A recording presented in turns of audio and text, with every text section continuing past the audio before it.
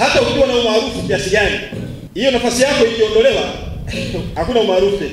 Hakuna sababu mkuu wa wilaya ukakaa ofisini ukashindwa kwenda kusimamia shughuli mbalimbali za maendeleo, kwenda kukagua, kwenda kuimarisha, kwenda kuzungumza na wananchi katika maeneo yako, na yule ambaye anaona yeye cheo kimembaa hawezi kufanya kazi, basi ujue hata dugu ataondoka na sita sita kuchukua hatua wakati wowote.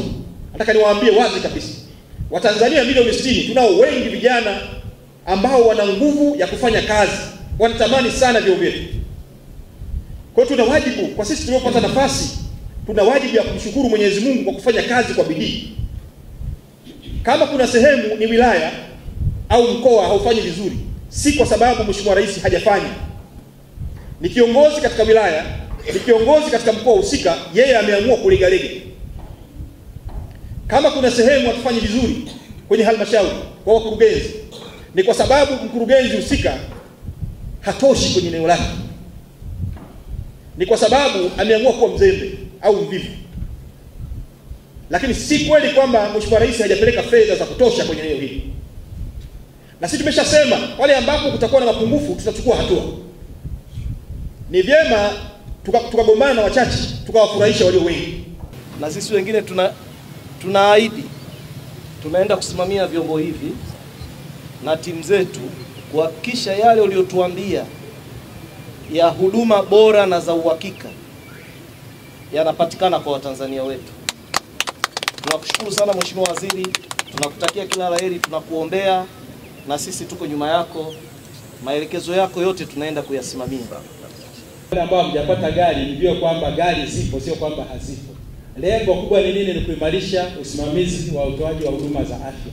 Sasa ninachosisitiza mimi kwa mbele ya kiongozi wangu, sasa mimi naibu katibu mkuu ofisi ya Rais TAMISEMI na msaidia katibu mkuu upande wa afya, ustawi wa jamii na lishe, na mimi nimewahi kuwa, kuwa pia mkurugenzi wa halmashauri. Madiemo walioko hapa, hizi gari msiende kukaa nazo, zungukeni kwenye vituo mbalimbali ili muone wananchi hawa wanatoa huduma, kwa sababu haiwezekani Mheshimiwa Rais akaboresha namna hiyo zimejengwa hospitali za kutosha, zahanati za kutosha na vituo vyake vya kutosha, alafu tukawa na baadhi ya watumishi huko ambao hawahudumii wananchi wa Tanzania vizuri, na hao ndio wapiga kura wa rais. Kia wananchi katika kuhakikisha wanapata matibabu bora.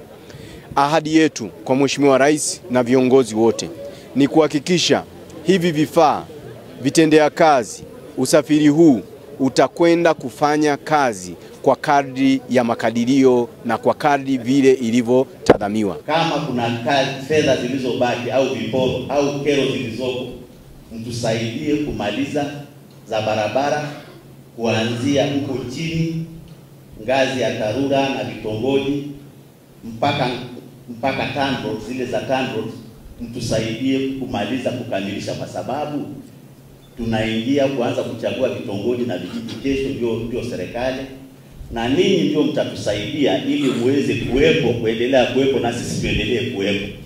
Tunaomba mtusaidie tuingie kwenye kazi hiyo.